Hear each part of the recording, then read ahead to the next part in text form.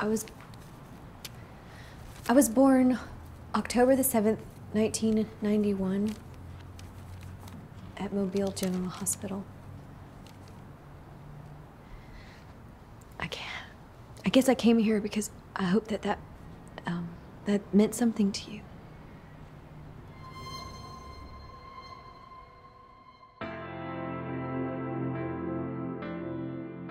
October Baby, you know, is a story of Hannah who finds out she was adopted and didn't know because she's a survivor of an abortion. So she goes on a journey to find her birth mother.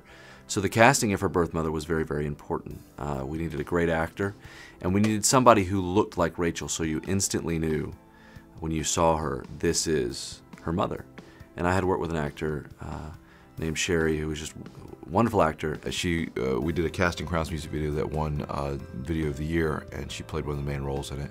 And she's a, a longtime friend um, of ours.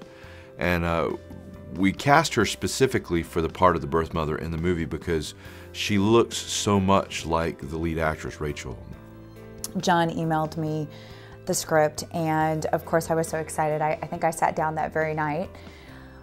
I got to the point of the birth mother, and um, I was I, I, I was so overwhelmed. I started crying over it because the story actually had been truly written for me, and John and Andy didn't even know my backstory at all. And uh, she read it and uh, literally called me back, uh, just weeping uh, about the script, and said, "How did you know?"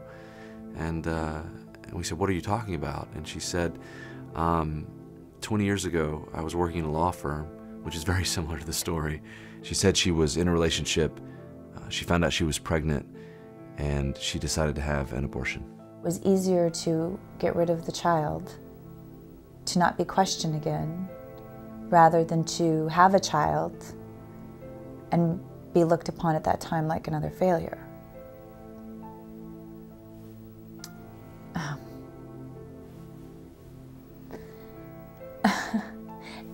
And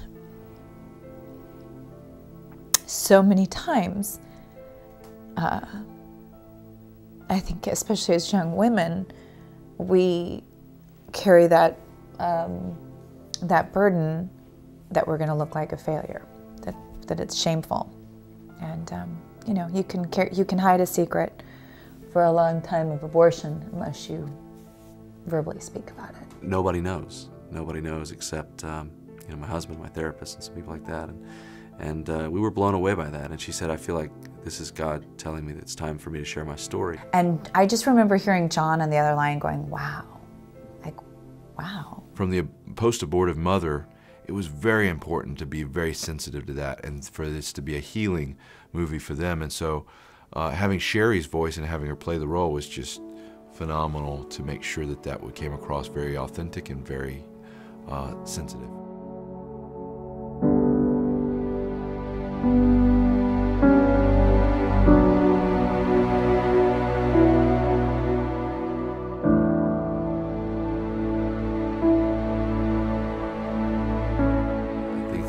As we went forward uh, and filmed her scene, she wasn't acting. I mean, it was as real as you could get. It was um, one of the more moving things I've ever seen.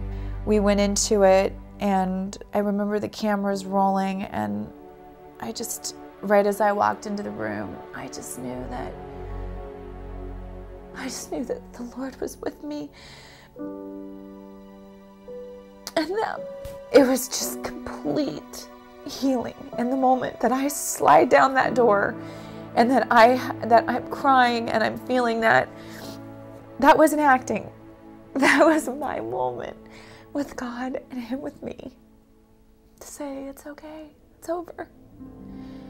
And you've been forgiven.